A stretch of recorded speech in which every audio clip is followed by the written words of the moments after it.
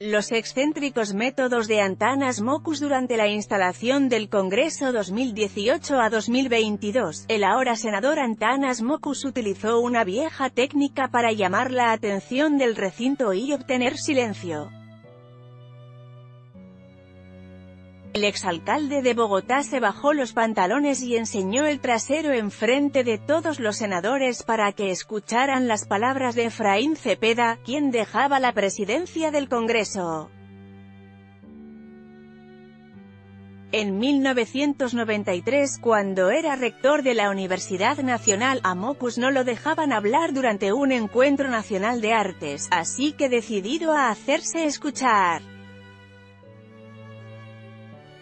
Para lograr su cometido se puso de espaldas, se bajó los pantalones y se separó los glúteos frente a los más de mil estudiantes que estaban presentes en el auditorio León de Grave.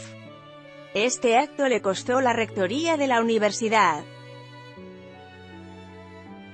Vía GIPHY a pesar de eso, no ha sido el único episodio llamativo y polémico en la vida del político bogotano. Su primera alcaldía en la capital, 1995 a 1999, fue escenario de varios de sus más recordadas acciones. En 1996 se casó con la trabajadora social Adriana Córdoba, pero la ceremonia del matrimonio no fue en un lugar habitual. El alcalde se casó en el circo de los hermanos Gasca, rodeado de tigres y movilizándose en un elefante que tenía pintado en un costado, recién casados. También se vistió de superhéroe para impulsar la buena conducta en las calles de la capital. Antanas Mocus se paseó por las calles de la capital vestido con un ajustado traje amarillo que en el pecho tenía una letra C de supercívico, otra de sus propuestas pedagógicas. En 1997, ante una crisis en el abastecimiento de agua en Bogotá y la posibilidad de hacer un racionamiento del líquido en la capital, el matemático se fotografió tomando un baño con Totuma. Mocus posó para las cámaras en ropa interior y mientras tomaba un baño para decirle a los ciudadanos que era una medida válida y que de esa manera se podía ahorrar y evitar los cortes de agua.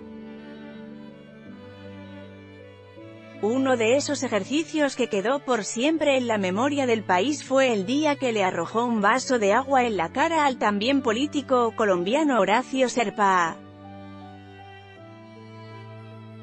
Esto se dio durante la campaña presidencial de 1998 en la que el popular político bogotano se presentó como fórmula vicepresidencial de Noemí Sanín. Vía GIPHY sobre ese hecho, Mocus aseguró que era para explicar que así como estas nuevas formas de violencia, lanzar un vaso de agua a la cara, debían ser los actos de violencia en Colombia para que no cobrara vidas y para que haya la posibilidad de pedirle disculpas a las personas. En la campaña por la alcaldía de Bogotá en 2011, abandonó una entrevista en vivo porque consideró que los comentarios de uno de los periodistas presentes en la mesa eran calumniosos. Mokus se quitó el micrófono y se fue del set. Aunque con los años este tipo de actos de Mocus han ido siendo más escasos, su carácter y sus ejercicios han hecho que sea foco de atención. Contexto de la noticia Comentarios Reporte un error agregar información porque entre varios ojos vemos más Queremos construir una mejor web para ustedes. Los invitamos a reportar errores de contenido, ortografía, puntuación y otras que consideren pertinentes.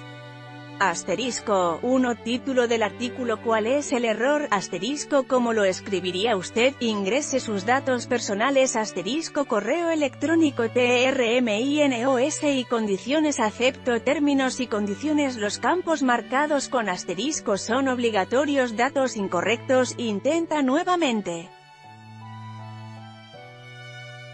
datos extra, información confidencial y pistas para avanzar en nuestras investigaciones, usted puede hacer parte de la construcción de nuestro contenido.